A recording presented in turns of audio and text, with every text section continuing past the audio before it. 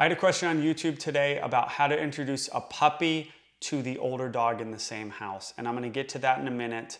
This is my new office. As you can probably tell, it's a different place. Um, I'm gonna show you some pictures of the outside of it and some of the fun stuff that we've done um, around this office as private sessions for private sessions and such. Um, I am trying to spice it up behind me. It's pretty boring. I don't love it. Um, so if you have any ideas about what I can do, please let me know. All right, so here's the question from Gamma. Do you still use the same training when bringing home a nine week old puppy? I've been searching everywhere, and the most common I see is letting the older dog set boundaries with dominant behavior because it's the most natural way.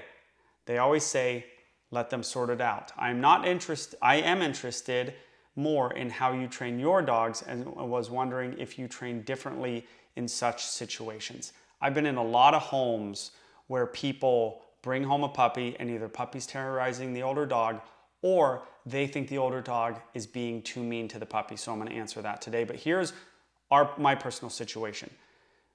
You guys have probably seen videos of Bosco, the red Dobie. As he got older, from a business decision, I probably should have gotten a puppy while he was still alive so that I could have a dog ready for when he passed on. However, I knew Bosco didn't want a puppy in the house in his older years. And so we chose not to do that because we wanted him to just live out his older years with us as being the only dog in the house. And it was the right call for sure. So keep that in mind when you're deciding about whether to get a puppy or not. Now, to the question of how do I raise my dogs, bringing a puppy into the house. Here's what you should do, okay? Understand that it's gonna be, it's hard on the older dog. Sometimes it brings life to the older dog.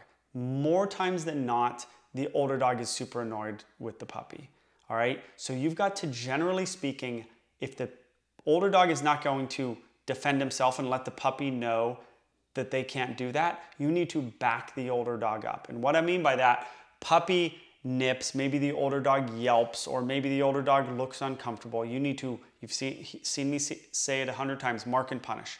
With the puppy, you gotta go, hey, get up, grab the puppy, lure, take him away, okay? Or maybe redirect him with a rope toy. Do something, but you gotta mark the behavior, that's wrong. Right when you bit the ear, that's wrong, and then here's your consequence, okay? You gotta start, you gotta back up that older dog. Don't let that puppy accost the older dog. All right, then eventually you're just gonna have to go, hey, and the puppy's gonna go, okay, sorry, I know what's gonna happen. You're gonna take me away or move me or redirect me, and I'll just do it myself, right? You gotta give dog a lot of chew toys, puppy a lot of chew toys, or the older dog is gonna be their chew toy, all right? Back the older dog up.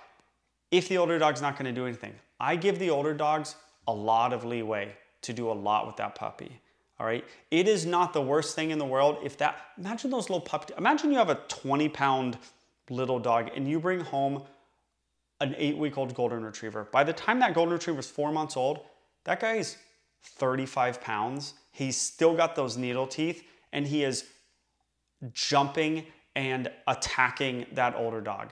Okay, I put that in quotes because he's not attacking. He's being a crazy puppy. It's not okay to that older dog. Let that older dog do what that older dog needs to do. Obviously, we're not talking about a dog attacking a puppy. That is never acceptable. But let him, if, if he gives the, if the puppy jumps on me, he gives him a nip, puppy goes, runs away, probably the best thing for that puppy. I remember Bosco is probably a year old and we had a board and train here and Bosco loved dogs, but he also thought that dogs were like, he could just go jump on them. So he runs out, it was right up there. He runs out and he just jumps fun having fun, jumps on this dog, just like, let's play, jumps on him. That dog nailed him, bit him in the shoulder, not puncture. Bosco went, and ran away, and I was like, oh my gosh, is he okay? Best thing for Bosco. Now, did Bosco stop jumping on dogs? No, but maybe Bosco is 20% less after that day to say, oh, I can't just run up and launch myself at dogs because they might get mad at me. I think he was a little chiller that day about just launching himself at dogs and just jumping on them like, let's play. Best thing for that dog. So let your older dog do what your older dog, nine times out of 10, let the dog do what he thinks he needs to do. Don't manage it so much like, oh, bad older dog, right? He's the one who lived in that home for 10 years by himself with the people he loves. Now we're bringing a puppy in there, okay? Which is fine. Do what you need to do in your life. It's fine. But back up that older dog, okay? D- puppies are nuts. Four month old puppies are out of their minds. They have to mouth everything and they have sharp little teeth. And not all dogs want to deal with that. Okay, if you have a three year old dog, that three year old and a puppy, that's totally different. If you have a five year old, that's totally different. 10 year old dog might have pains. He doesn't want to deal with that all the time.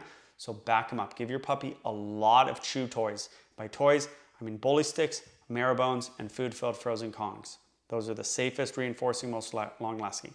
That puppy's got to be working those jaws all the time so he's not working it on the older dog. And exercise, because the jumping on him is due to jumping on the older dog is to get their mouthiness out and to get their exercise out. So you have to provide it so they're not all over that older dog. So that's the video, bringing home a puppy to an older dog, how to manage it, who to back up, when to redirect, all that good stuff. So remember to subscribe to the channel and I'll keep making these videos.